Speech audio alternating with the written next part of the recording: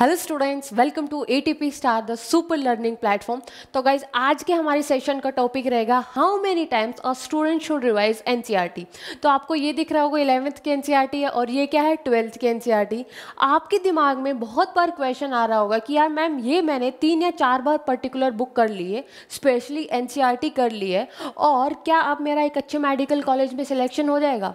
तो देखो, सबसे पहली बात है, कहीं पर भी नहीं लिखा है कि आप तीन से चार बार एन कर लोगे पाँच से छः बार एन e कर लोगे, दस बार एन e कर लोगे तो आपका डेफिनेटली एक अच्छे मेडिकल कॉलेज में सिलेक्शन हो जाएगा, ठीक है? तो देखिए, आपने टॉपर की रिव्यूज़ तो आप पढ़ते ही हो ना? है ना? सब पढ़ते हैं कि यार जो लास्ट का जो ईयर का टॉपर है, उसने क्या रिव्यूज़ दिए, कितनी बार उसने एन e पढ़ा कौन कौन सी किताबें ली?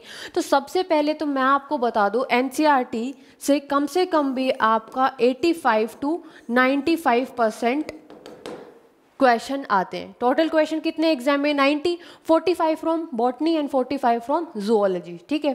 तो कम से कम 80 टू 90 परसेंट आपका कहाँ से आना है? एनसीईआरटी e से आना है है ना? तो सबसे पहली बात, आपने एनसीईआरटी e को ही अच्छे से पढ़ना है। तो लेकिन बात आती है कि मैम कितनी बार? एक नंबर बता दो। तो किसी किसी टॉपर ने बोला होगा कि, यार, तीन बार एनसीईआरटी पढ़ लो तो आपका सारा का सारा क्वेश्चन सारे के सारे अटैम्प्ट हो जाएँगे। लेकिन किसी ने ये भी बोला होगा, यार, मैंने तो दस बार एन e कर ली थी, लेकिन फिर भी मुझे मेडिकल कॉलेज नहीं मिला। तो उसके पीछे रीज़न ये है, जब आप फ़र्स्ट टाइम एन पढ़ते हो ना तो फिर आपको थोड़ी थोड़ी चीज़ें क्लियर होती हैं। जब आप दूसरी बार एन पढ़ते हो, अच्छे से पढ़ते हो तो आपको चीज़ें समझ में आना शुरू हो जाती हैं।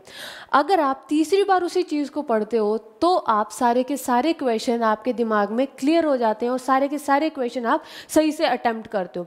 तो अगर मैं सजेस्ट सजेस्ट करूँ तो कम से कम भी अगर आपने तीन से चार बार एनसीईआरटी ढंग से पढ़ ली उड़ा उड़ा के नहीं, कि मैम एक डाइजेशन और एब्जॉर्प्शन चैप्टर था और मैंने ये कम से कम भी तीस मिनट एनसीईआरटी से ख़त्म कर दिया, नहीं।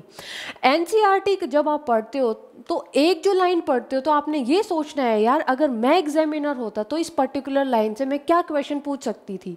ठीक है? तो अगर आप हर एक लाइन से, अगर आपने आपसे ये क्वेश्चन करोगे कि हाँ इससे ये क्वेश्चन बन सकता है, चाहे वो एग्ज़ाम्पल हो, चाहे स्टेटमेंट राइट हो रोंग का क्वेश्चन बन सकता हो तो हर टाइम पर आपने एक लाइन पढ़ते टाइम आपने ये क्वेश्चन पूछना है कि ये क्या क्वेश्चन बन सकता है, ठीक है? तो यही तरीका है एनसीईआरटी का ढंग से पढ़ने का। अगर आपने ऐसे तीन से चार बार अगर एनसीईआरटी पढ़ ली तो आप सारे के सारे क्वेश्चन ढंग से कर पाओगे, ठीक है? तो ऐसा नहीं है कि यार उसने बोला था दस बार एनसीईआरटी पढ़नी है, या मैम ने बोला था कि दो बार एनसीईआरटी से काम हो जाएगा। नहीं एटलीस्ट आप तीन से चार बार एनसीईआरटी ढंग से करो, ठीक है? और ऐसा नहीं कि एक चैप्टर खत्म हो गया, जैसे कोई भी आप ह्यूमन फिजियोलॉजी जैसे पढ़ रहे हो, एक चैप्टर खत्म हो गया तो एनसीईआरटी आपने छोड़ दी, नहीं। एनसीईआरटी को बार बार आपने पढ़ना है, ठीक है? एग्ज़ाम जब तक आपका क्लियर नहीं हो जाए, जब तक आपको एनसीईआरटी पढ़ते रहना और रिवाइज करते रहना है, ठीक है?